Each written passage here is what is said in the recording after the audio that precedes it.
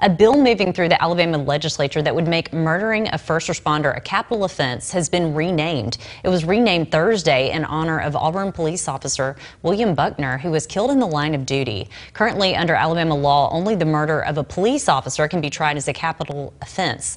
The amendment to rename the bill was passed by the Senate on Thursday, and the bill is heading back to the House for a final vote.